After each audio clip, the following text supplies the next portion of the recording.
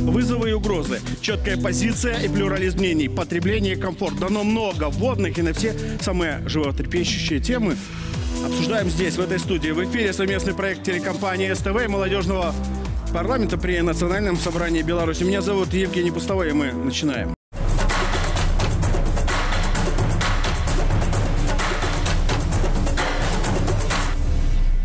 Со стороны виднее. Так все-таки, чем уникальна Беларусь, мы можем понять, когда говорят об этом другие. Чем Беларусь привлекает иностранцев? Внимание на экран. Открытая белорусская душа и страна – на все попытки политиков прервать межгосударственный диалог Беларусь ответила гостеприимностью и ввела безвиз. С конца июля граждане 35 стран Европы могут без всяких виз посетить нашу страну. Нам нечего скрывать и есть чем удивить. Туризм впечатлений, медицинский и даже продовольственный – это же лучшая реклама страны. Чем Беларусь привлекает иностранцев? Смотрите прямо сейчас в ток-шоу «Да, но». Есть расхожее понятие «голливудская улыбка». Может, пору говорить о белорусской улыбке, ведь э, оказание стоматологических услуг э, стало брендом белорусского здравоохранения. Пожалуйста, вам слово. Да, Евгений, на самом деле сегодня э, не только стоматология, но и медицинские услуги здравоохранения Республики Беларусь – это наш бренд. И соотношение доступности, качества и цены – делает нас одной из лучших медицин мирового масштаба. К вам едут вот в поликлинику география ваших пациентов? На сегодняшний день э, география наших э, стран – это наши ближайшие соседи. Литва, Латвия, Польша, дальше немцы. До 2020 года, до ковида. География была значительно шире, но несмотря на эти проблемы с переездом границ, конечно, немножко поток иссяк, но он сегодня накатывает еще с большей силой, потому что те пациенты, которые стояли, так скажем, в лиске ожидания уже там, за э, за границей, да, да за границей, да, они уже как бы изголодались, истощались по нашему здравоохранению, потому что на самом деле этот баланс, цена-качество. Вы сказали немцы, ну немцы, мы всегда привыкли, что это тоже хорошая медицина и так далее, и так далее. Кто-то рекламирует о том, что белорусские врачи туда уезжают, оказывается, к нам приезжают, наоборот, пациенты из Германии. Евгений, э, в семнадцатом году мы специально с э, комиссией по стоматологии ездили в Германию. Мы когда сделали реконструкцию в 8-й стоматологической поликлинике, э, закупили новейшее оборудование и к немцам подъехали. Они нас завели в государственную систему здравоохранения, в частную систему здравоохранения, на завод и на учебную базу. Вот мы ходили, ходили, и знаете, я поймался на мысли, а у нас это все есть. И тогда вот я тогда говорю принимающей стороне, слушайте, у нас э, все закуплено, у нас это все работает, нам это все знакомо. А давайте говорит, пофантазируем, говорит, а что вы видите, вот, ну, к немцам обращаясь, в будущем? Какая стоматология будущего? И вот мы сели на такую свободную уже тему, там фантазировали, что будет в будущем. Потому что на 17 год по состоянию мы были заряжены, так же, как и Германия. Но еще раз обращаю внимание, квалификация врачей, оборудование и цена... Доступность наша. Доступность Почему я начал э, тему с медицины, медицинского туризма? Это прежде всего и привлекательность, и деньги. Но это прежде всего еще и бренд государства. То есть на каком уровне по развитию медицины можно судить и о развитии всего, всей страны, нашей Беларуси. Раньше говорили о Израиле, да, о Германии, о Швейцарии. Сейчас можно говорить, что у нас сложилась своя медицинский туризм как индустрия? Конечно. Об этом можно говорить. И, в общем-то, медицина является одним из отражений развития страны. Мы развивали ее всегда – в советские времена это была одна из лучших отраслей на пространстве Союза.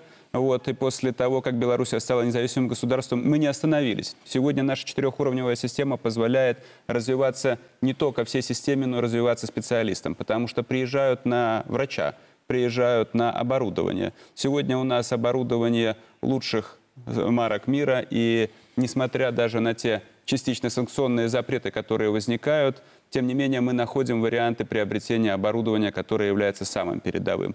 Ну а специалисты, которые имеют систему подготовки и имеют качество работы, уже давным-давно стали широко известны во всем мире. Сегодня к нам приезжает более 150 тысяч иностранцев для того, чтобы получить квалифицированную медицинскую помощь. Причем медицинскую помощь в самых сложных разделах. Это и трансплантология, это и онкология, это и кардиология, это и стоматология и многое другое. Причем я могу сказать о том, что цены на наши услуги как минимум на 50% ниже, чем в той же Европе. И сегодня к нам приезжают не только наши ближайшие соседи, жители постсоветского пространства. Сегодня к нам приезжают со всего мира, и если брать вот в процентном соотношении, 60% из тех, кто приезжает, это постсоветское пространство, а 40% это те, которые приезжают из дальнего зарубежья. Поэтому представительство 150 стран, которые к нам сегодня приезжают лечиться, о чем-то говорит. Хочется сказать, что к нам еще поступают иностранцы, и наше обучение котируется по всему миру. Скажите, а вот э, а к вам тоже едут? Много ли пациентов с иностранными паспортами? Я вам больше хочу сказать, что к нам э, как ехали, так и будут продолжать ехать. И даже пресловутый ковидный период, ну, к сожалению, он не отменил те заболевания, которые лечатся и наблюдаются в центре, который я сегодня представляю. Иностранцы нас знают, они к нам приезжают, мы предлагаем очень комфортные условия и оказываем уникальные для некоторых пациентов лечебные и диагностические услуги. Поэтому я думаю, что мы... Э, То есть друг, в других странах они не могут найти та, они такие могут услуги, найти, но они могут, могут найти в других но... странах, но гораздо-гораздо дороже. Либо действительно листы ожидания не позволяют пациенту mm. в ряде заболеваний просто ждать. У него нет времени для ожиданий. Поэтому мы готовы принимать иностранных пациентов и оказывать им медицинскую помощь. Давайте у Артура спросим. Вы из Соединенных Штатов Америки, да, к нам приехали. Как вам Беларусь? Да, я родом из Нью-Йорка. Сейчас, э, ну, уже 4 года, чуть больше в в Минске. Я переехал 20 Часто говорили «Ошет», нет? Нет, нет. У меня вид на жительство Республика Беларусь. Я очень счастлив. Скажите, а почему вы счастливы? Вы бросили, ну, не знаю, Великую Америку, приехали... В Великое союзное государство переехал. Хорошо. То есть это прежде всего у вас политическое, да? Из-за политических а, взглядов? Прежде всего политические взгляды. Я являюсь очень давно, долго, годы большой сторонник политика Александра Григорьевича Лукашенко – и целая социально ориентированная страна, РБ. Именно поэтому, когда я видел, что было трудности в 20-м, мне нужно было наконец-то переехать сюда и начинать новую жизнь и как-то внести свой вклад. Поможет строить э, союзное государство. Нужно брать пример вот с, такого, с этого американца, который налаживает связи, отношения, когда вот сильный президент, это же самое главное, это мир, безопасность. Мы сохранили семейные ценности, у нас нет языковых барьеров, у нас нет культурных барьеров. Нету. Скажите, а что вам понравилось в Беларуси? Идея это самое важное. Но сейчас же общество такое, знаете, к комфорту привыкли. Э, как вам инфраструктура, да. отдых, работа, транспорт, я не знаю, ну, доступность э, цифровых там технологий? Расскажи. Давайте сейчас начнем с, с разговора о цифровые технологии, потому что я даже прямо в глаза заметил последние годы, последние 10 лет, как развивается нереально быстрый темп цифровые технологии, высокие технологии в Беларуси. Вообще Минск как столица, а не только областный центр, вообще почти везде, стали настолько современнее, ни капли не меньше современнее, чем, не знаю, там на Греции, на Европе, в Америке. Здесь все есть. Да, иностранцев, туристы обычно говорят про чистоту города и чистоту Беларуси. Это точно есть. Но не только чистота, у нас безопасность. У меня, как человек с вид на жительство, чувство, что я принадлежу семья, большая семья, уютная семья. Мы сохранили э, я же, мы говорю, вид на жительство, дай бог, что когда-нибудь, может, даже гражданство. Но сохранили добрые традиции СССР. Не забыли, не продали э, государство на Запад. Да, человек может строить здесь благополучную жизнь, можно делать все, можно даже зарабатывать финансы, но не при помощи империализма и эксплуатации. Вот главное э, преимущество Беларусь. Газификации по всей стране и много-много еще других. Ну, а у вас э, вид с другого берега, да, с, а, даже океана, большая разница. А скажите, вы же к нам из Латвии приехали, да? Да, я приехал из Латвии. И что же вы так бросили Евросоюз, э, страну восточного партнерства, больших достижений и тоже на территории Беларуси приехали? В Европейском Союзе есть по сути, во всем мире есть только одна точка зрения, та, которая правильная с точки зрения государства. И вот моя точка зрения в том государстве, в котором я жил и родился, она не совпадала с моей личной точкой зрения. И как только я ее начал озвучивать, начались полит... ну, вас Гон... преследовали? Гонения по политическим мотивам, да. И вы спрятались в диктатуре? Абсолютно верно. Когда вы приехали в Беларусь, что вас поразило, что понравилось и так далее? Вот. И что вы пишете, говорите о том, что... В реальности туда спущена на голову местного населения в Прибалтике и вообще в Европе огромная агитационная машина. И Беларусь представлялась таким, знаете, большим хутором между цивилизованной Европой и немытой Россией. А приехав сюда первый раз в 2020 году, это был буквально культурный шок, потому что огромные проспекты, вот как уже отмечалась, чистота в городе. Все, кто ездил по Европе, они, первое, вот, надо ездить по Европе, вообще по миру надо ездить на автобусе. Тогда вы заезжаете в большое количество населенных пунктов. И вы можете посмотреть не то, что показывает витрина, а то, что находится немножко в складском помещении. И в реальности, приезжая на автовокзал, на автовокзал в Берлин, в Париж, там, во Франкфурт на Майне, в Дюссельдорф, первое, кого вы увидите, наркомана, Бомжи. алкоголика и бомжа. И в Нью-Йорке. То же самое, то же самое вы увидите. И огромное количество граффити, мусор на улицах. То есть государство этим не занимается, ему нету до этого дела. Оно занято какими-то другими, очевидно, делами, раз на это у него нету времени. И приехав в Беларусь, я сразу отметил это огромное количество электротранспорта.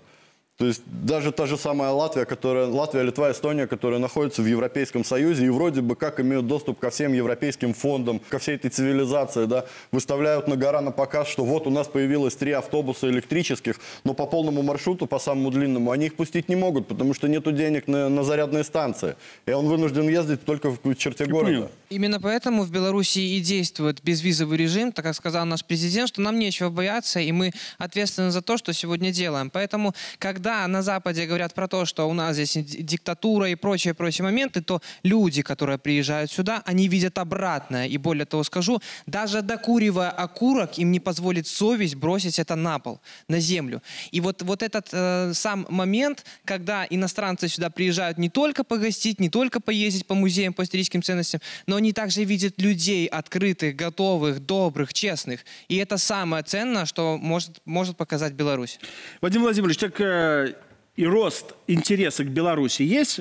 Сугубо цифры. Это были эмоции, впечатления, а цифры? Безусловно, на протяжении последних лет мы отмечаем значительный всплеск интереса к миграции в Республику Беларусь.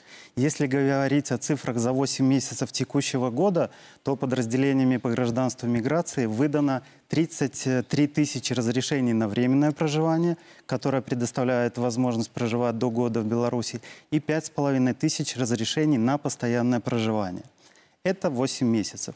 Если вести речь вообще о цифрах проживающих в Республике Беларусь, то на сегодняшний момент 168 тысяч иностранцев имеют статус постоянных жителей и документированы видами на жительство, как наши уважаемые гости. И, Благодарю. Да, и 51 тысяча иностранцев, которые имеют разрешение на временное проживание до одного года с последующей возможностью продления этого разрешения. А вот без виз, да, насколько э, усложняет работу правоохранительных органов? Или наоборот, к нам кто едет? Вы же наблюдаете ситуацию, мониторите, Безусловно. Да? Из каких стран едут, чтобы полечить зубы, пересадку совершить, узнать о Беларуси? Расскажите вот. На самом деле, начну, наверное, ну вот по-милицейски и скажу, что при значительном росте количества въезжающих иностранцев криминогенная обстановка в стране не осложнилась. Да, есть, конечно, некие единичные случаи правонарушений, но они в общей статистике никак не влияют на осложнение криминогенной обстановки. Что касается портрета туриста, то, безусловно, подавляющее большинство – это э, граждане соседних государств э, Европейского Союза, которые пользовались возможностью безвиза. После введения, назовем его, большого безвиза для всей Европы, мы отмечаем приезд э, с граждан более далеких стран. Вся Европа, по большому счету, едет к нам теперь. И даже вот выходя вечером с работы, я иду во дворах, где много частных э, квартир сдается. Так. И очень много машин с иностранными номерами, что, безусловно, нас радует. А вот этот большой безвиз, он на сколько времени пребывания рассчитан? Вообще на 90 дней. 90 дней? Да, на 90 как дней. вы думаете, хватает да. этого времени, чтобы познать нашу Беларусь? Безусловно. Людям хватает этого времени для того, чтобы оценить все прелести жизни – и пребывания в нашей стране и принять решение для того, чтобы приехать к нам на постоянное жительство. А есть случаи, когда, допустим, приехал по безвизу и захотел остаться на ПМЖ? Да, да, таких случаев много. Опять же, все началось с безвиза, который был введен для Латвии, Литвы и Польши.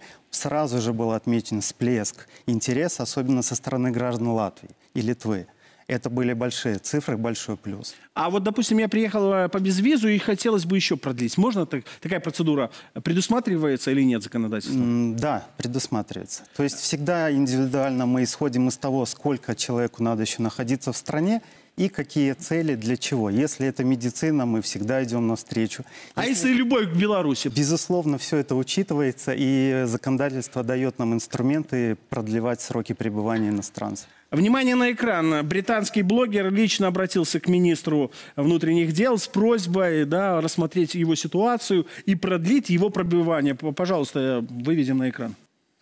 Дело в том, что тогда я просто я не был готов уезжать. Ну, тогда и сейчас я до сих пор, ну, я хочу здесь остаться. Ну, мне реально здесь очень комфортно, очень-очень по кайфу. Я много раз говорил, ну, повторю снова, мне здесь очень нравится. Чистота вот этой страны, это просто, а, я не знаю, это очень удивительно, очень, ну, это замечательно на самом деле, что все так заботятся о природе, потому что э, так не везде. Um, особенно у нас, ну, в крупных городах, ну, типа в Бирмингеме и в Манчестере, например, то, ну, там достаточно много мусора. Uh, и здесь uh, мусор редко найдешь, и это очень круто. Вы, наверное, уже в курсе, но есть очень много стереотипов про страны СНГ, что все разваливается, и тут нет а, перспектив. Я знаю, что это не так. А, я стараюсь а, типа проливать свет на это ну, через свой блог, открывать людям глаза, что на самом деле типа все иначе. Это не так, как они думают что я буду говорить про Беларусь, у меня только хорошие воспоминания отсюда. Я могу говорить только хорошее э, про Беларусь, потому что вы приняли меня за такого, каким я являюсь. Э, я среди вас не чувствую себя другим, как иностранец. Я, это, типа, такое чувство, что я белорус тут. Вы услышали мнение обычного жителя, а теперь у нас же плюрализм мнений здесь на передаче. У литовских властей совсем другое отношение к нам. Э, лучшая реклама Беларуси – это, наверное, антиреклама литовских властей. Я попрошу тоже вывести эту графику на экран, что там написано. Не рискуйте своей безопасностью, не путешествуйте в Беларусь. Вы можете не вернуться обратно. Ну, правильно, остаются же люди. Вот. Министерство иностранных дел предупреждает, путешествие в Беларусь опасно для жизни, здоровья и безопасности граждан Литвы. Вот так вот работают с э, электоратом. Ну, с, вообще сказали. Если говорить о безопасности, вот по вот этому тезису, так, то давайте вспомним, сколько Беларусь, вот как тут нас объявили какой-то небезопасной площадки, сколько Беларусь была, а, скажем так, организатором различных мероприятий. В 2014 году это был хоккей, в 2019 году европейские игры, игры стран СНГ. И что, кто-то пострадал, кто-то mm. получил какие-то вещи. Вон в Беларуси сколько всего мы организовали, какой у нас огромный опыт, и все отмечают нашу доброжелательность и высокий организационный уровень. И что, мы перестали быть безопасным островком, как говорил президент? Нет, мы по-прежнему являемся открытой площадкой. Против нас вводятся санкции, но тем не менее мы все равно остаемся гостеприимными, все равно обеспечиваем свою безопасность и безопасность тех, кто к нам приезжает. Поэтому то, что позволяют себе некоторые наши бывшие коллеги, скажем так, ну это как минимум некрасиво. Но мы, как сказал президент, они нам санкции, а мы им без виз. Поэтому наша открытая душа, она остается, как говорится, с нами. А мнение товарищи, как говорится, со временем поменяется. А как вы думаете, может, они просто завидуют эти власти? Ну, вы с Латвии, э, Литва, соседи, поэтому пытаются э, вот таким образом воздействовать э, на психику своих граждан? Боятся, что, может быть, просто Боятся. литовцы уедут и не вернутся? Боятся когнитивного диссонанса, который может моментально возникнуть после того, когда ты слышишь вот все вот, вот это вот, находясь в той информационной среде и попадая в реальность суда, создается огромное противоречие. А вас смотрят в Литве, в Латвии? Вы да, рассказываете о Беларуси? Да, меня смотрят и в Литве, и в Латвии, и в России, и в Англии, и в и Германии. И что, лайкают, дизлайкают и говорят, слушай, ты куплен? Критики много. Критики, конечно, много. Без нее никуда, но так устроены социальные сети. Вам получается достучаться до сердец и разума э, ваших же сограждан? Да, я часто натыкаюсь на комментарии такого характера, что пребывая там, Я слышу одно, приезжая сюда, я вижу другое. Получается, что туризм, в том числе и политика, но туризм – это впечатление. Расскажите, пожалуйста, кто к нам едет, за какими впечатлениями, что больше всего интересует тех, кто приезжает по безвизу или просто там обычные туристы? Ну, для нас всегда был приоритетом Российская Федерация. Это целевой рынок, который для нас э, всегда, естественно, формирует поток. Таким же, в принципе, рынком была и Польша потому что интересы традиционные – это для нас тоже целевой рынок.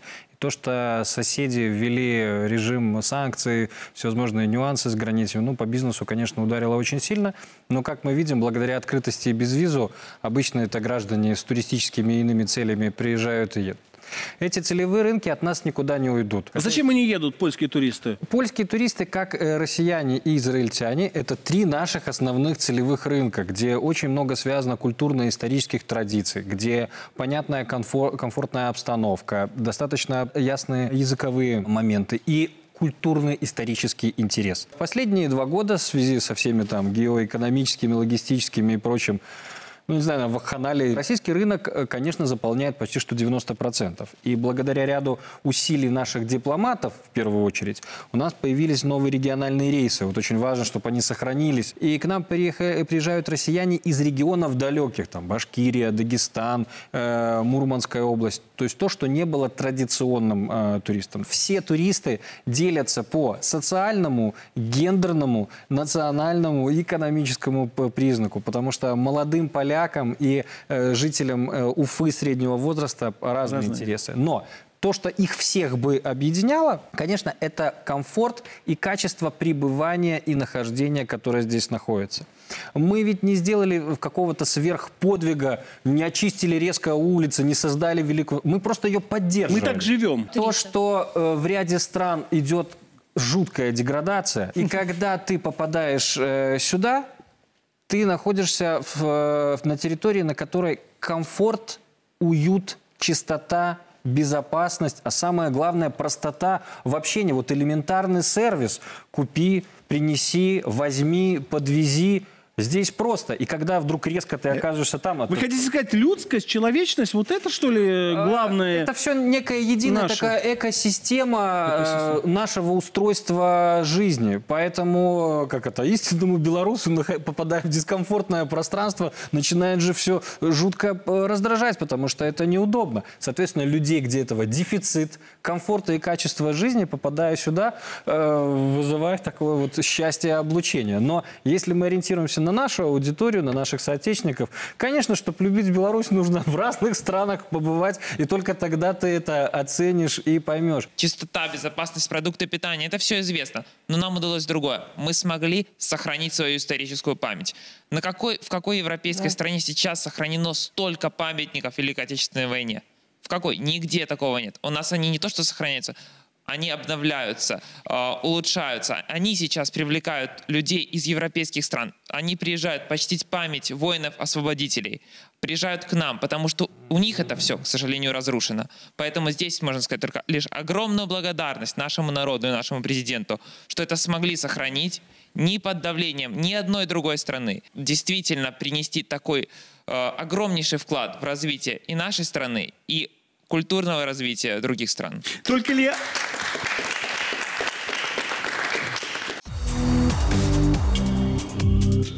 Мы продолжаем работать. Итак, э, чем Беларусь привлекает иностранцев. Вот э, у нас в гостях представители ну, белорусской интеллигенции. У вас много друзей, наверное. Вот э, они приезжают к вам в гости, и что говорят о Беларуси? Ну, это совокупность очень ну, простых да. мелочей. Мы вот можем ми... сейчас их перечислить. Да? Например, уйдем сейчас из великого к Да, конкретности. Но в большинстве стран мира прекрасно готовят баранину и говядину. А свинину в силу исторических разных причин нет так, как готовят свиные шашлыки и стейки в Беларуси, я абсолютно сейчас серьезно говорю, может, это всем кажется просто. Нет, не просто. Нигде в округе так вкусно этого не делают. Да, Мало мы... какой город может позволить себе на байдарках свободно, где удобно пройти по центру, и широченные проспекты, где нету красивых исторических зданий, которые давят над тобой, как в Ростове-на-Дону или наши великие там Питер, Москва и прочее. Этого нет. Бренд. И вот эта совокупность мелочей, это всегда была проблема. А какой вот в Беларуси бренд? Нету Эйфелевой башни,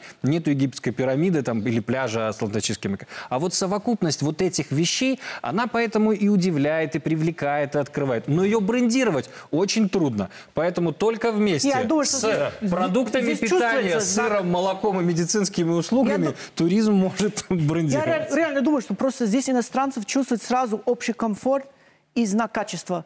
Беларусь стал просто последний в Европе оплот э, устойчивость. Гораздо тяжелее сохранить, чем построить что-то новое. Да, у нас много чего есть. Э, Построили, сохранили и замки, и лучшее советское наследие, оно много создано и именно за годы независимости. не про- За 30 лет. Я нашей- не про замки и не про культуру сейчас, потому что даже если снести все замки и всю культуру, любой язык поставить, всегда человек будет хотеть кушать.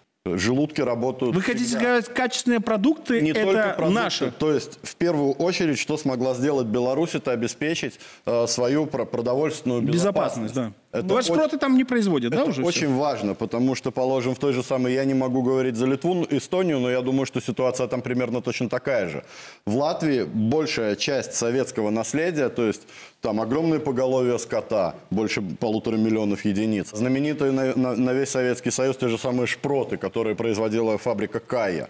Это все либо уничтожено, либо от этого остались. Жалко А мы увеличили да, производство и так далее, и так далее. Ну, 8 миллиардов на молоке зарабатываем, на молочных продуктах. Обязательно Всё нужно спортивные объекты, которые массового характера. Речь идет не столько там о хоккейных аренах, а бассейны, велодорожки, баскетбольные площадки и прочие вещи. На них государство тратит достаточно серьезные ресурсы. В других экономиках капиталистических это во- э, нет, ни в таком объеме, ни в качестве. И кто, кто проживает даже из наших соотечественников там, в Москве, в Питере, в других крупных городах, это всегда очередь на дорожках, а у нас этого нет. Я сейчас про туризм и корпоративные мероприятия, которые у нас фактически являются туризмом, когда крупные российские корпорации проводят здесь у нас, всевозможные спартакиады развлечений, это очень серьезное наше конкурентное преимущество, когда они выбирают, а куда же нам отправить 500 человек на корпоративное мероприятие в Баку, в Ташкент, в Самарканд или в Минск, или в Казань. И вот тут, ну, с Казанью, правда, тяжеловато, у них тоже хорошо, но у нас все равно э, лучше. Мы социальное государство, и это мы подтверждаем ежегодно. Ежегодно в наш бюджет закладывается больше половины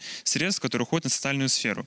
Отсюда мы видим все эти стадионы, площадки, мы видим э, продовольственную безопасность, безопасность питания и так далее. Это все определено вот нашим государством. Поэтому все эти ценности, о которых мы с вами говорим, они именно отражают то, что наше государство социальное. А вы хотите сказать, туристы просто говорят об этом, ну, то есть свидетельствуют о правильном развитии страны, да? То есть они видят эти плюсы, и эти плюсы монетизируются. Ну, да, они не рассуждают же там о государстве, но Да, им главное получить свой комфорт за те Да. деньги, которые они заплатили, они оказываются на площадке, где комфортно, хорошо, безопасно и прочее. Но я очень э, согласен с коллегой из э, Риги, что э, надо это сохранить. Это непросто, это непростая задача. Здесь и кадры, и ресурсы, и стратегия на 10-15 лет, а не на год и 5, пока там контракт руководителя не заканчивается. Это серьезная вещь, которой нужно системно заниматься. Я очень бы э, побоялся, чтобы не было никакого головокружения от успехов. Всех много, все едут, везут к нам сюда деньги, и всем здесь нравится. Нельзя почивать на лаврах, нужно понимать, какие вызовы стоят, какая находится конкуренция, потому что никто не дремлет из дружественных стран, пытающихся отстроить то же самое, и ресурсов... Белорусы тоже едут в Россию, я знаю. Сейчас. Да, и едут все чаще, едут все больше. Да, они вывозят наши рубли в дружественное и союзное государство, но тем не менее вывозят. А внутренний турист тоже, ну, это отдельная тема. Есть потенциал для него? Он э, всегда был, мы далеко еще находимся от того э, потенциала, который стоило бы... Да, он растет каждый год, это миллионы поездок, но все равно огромное количество белорусов не выезжает за пределы своих э, постоянного места дислокации и проживания, а ключ в этом – это отсутствие инвестиций дополнительных в нужном масштабе в региональную инфраструктуру, потому что туризм – это не минские туркомпании, это здания, которые строятся на рекреационном ресурсе в наших регионах и создают рабочие места. Все равно турист голосует рублем, понимаете? И те услуги, цена-качество сочетание, это самое главное, что привлекает. Это раз. И второе, нельзя останавливаться на достигнутом, потому что один раз человек приехал, посмотрел, окей, и начинает выбирать себе уделять. другой маршрут.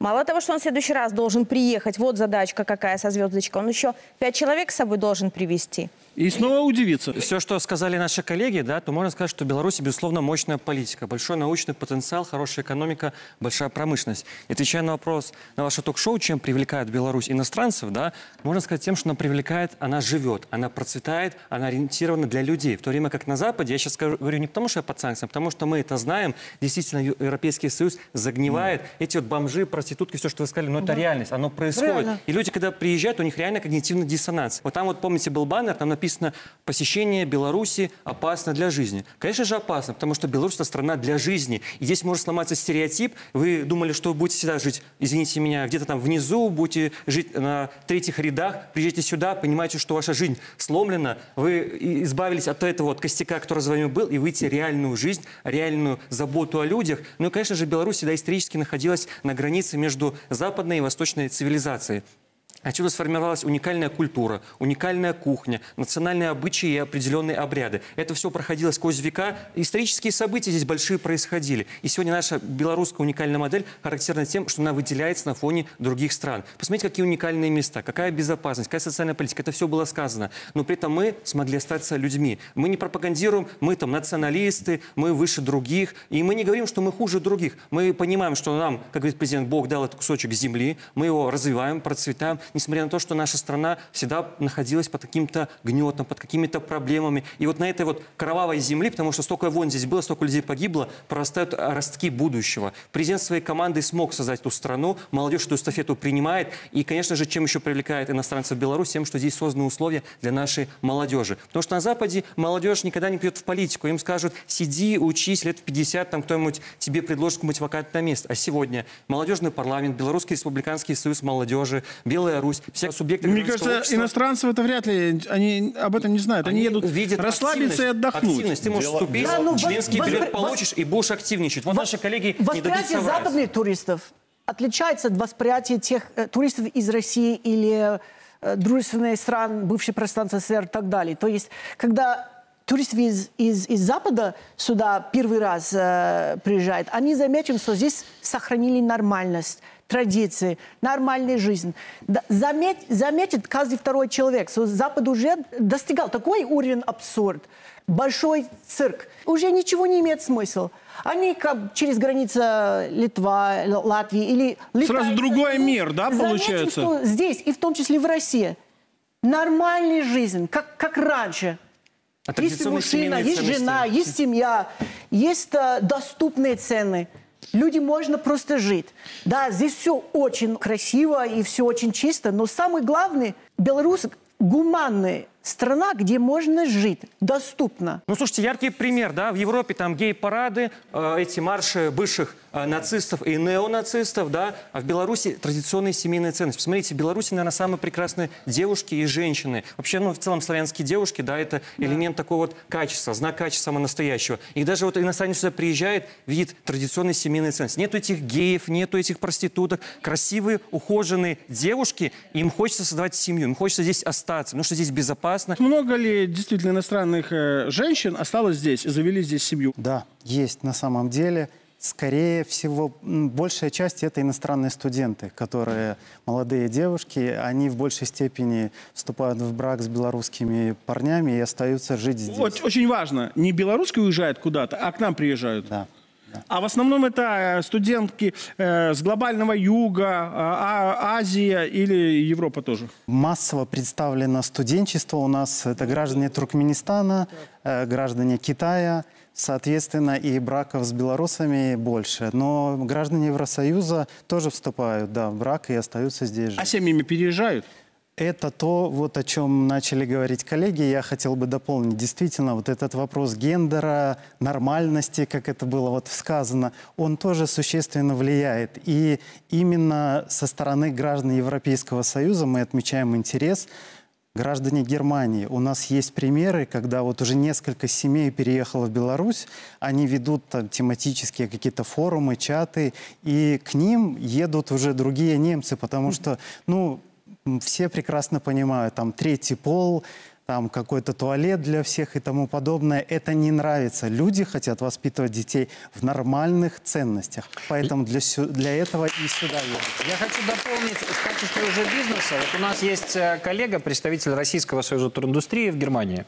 И после пандемии и всех этих э, событий бизнес фактически закончился, туристы перестали ехать. И вот с прошлого года у них возникло новое направление. Они собирают в Германии бизнесменов и желающих, привозят их в Россию, и примерно за три недели они объезжают и на практике смотрят, как устроились иностранцы, как бизнес открыли бизнес, как легализовались по э, документам. И теперь благодаря безвизу, как только это в июле произошло, мы тут же по своей линии связались, предложили эту практику попробовать в Беларуси, и сейчас это становится реальностью. Мы ждем вот уже в октябре первый тур такой вот среди немецких бизнесменов э, для того, чтобы объяснить им, как у нас можно это все дело э, провести, и кто захочет переехать сюда и, соответственно, открыть здесь э, дела, получить вид на жительство и прочее. Именно поэтому запрос на, именно поэтому... Я к тому, что запрос на нормальную жизнь они хотят увидеть ее. Они видят и остаются. Э, скажите, Александр Геннадьевич, вопрос вам э, и как белорусу, и как замминистра. Как белорусу. Вот вы приглашаете, допустим, своих коллег, друзей из других стран.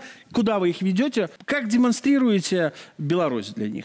А, вот, конечно, приглашаю. Когда вы говорите, э, почему все декларируют э, Беларуси хорошо, да потому что Беларусь, она не декларирует, она работает над этим. И когда ко мне приезжают э, друзья и гости, а их очень много, из Европы, из России, вот, из дальнего и ближнего зарубежья, то моя родина Могилевщина, вот, и поэтому я всегда их везу к себе на родину. Которая... На свиные шашлыки, да, и на свежий а, воздух. тоже в комплекте, да, но кроме этого ж есть много чего показать, начиная да. от тех исторических моментов, которые были, вот, дворцы, которые есть э, и восстановлены на сегодняшний день и в Кировском районе, и в Кричеве, э, поэтому всегда... Ратуша Могилевская. Вот, Ратуша Могилевская – это особенный шедевр, который в любом случае, пока по площади не пройдешь, не покажешь, что здесь угу. была ставка Николая II. Рядом находится городская больница скорой помощи, которой 220 лет.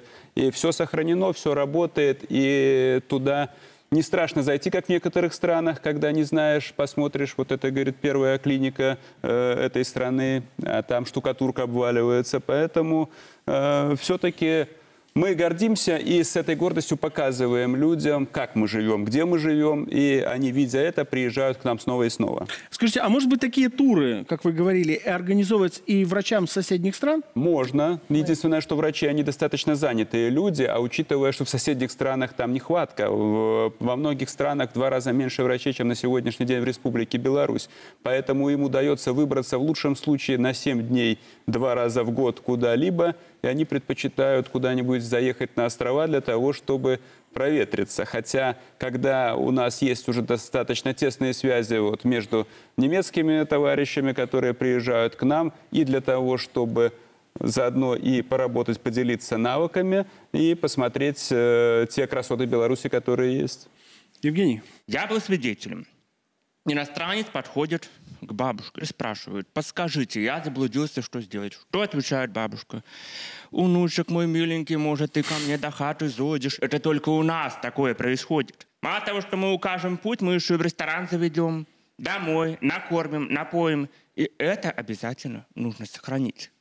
Если мы этого делать не будем, а мы, молодежь, это и делаем. Но мы показываем своим примером, что молодежный парламент к этому стремится. И это самое главное, вот именно чем привлекает Беларусь иностранцев. Указывает путь. Именно Беларусь, оказывается, наша скромная страна э, с четкими ориентирами, без высоких геополитических амбиций, указывает путь.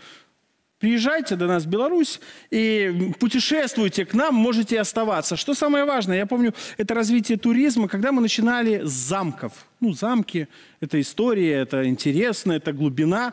А глубина нынешнего туристического потенциала Беларуси, что мы стали форпостом нормального мира. Напомню, в эфире был совместный проект телеканала СТВ и молодежного парламента при Национальном собрании Беларуси. Здесь звучат разные мнения, чтобы понять, что нам дано.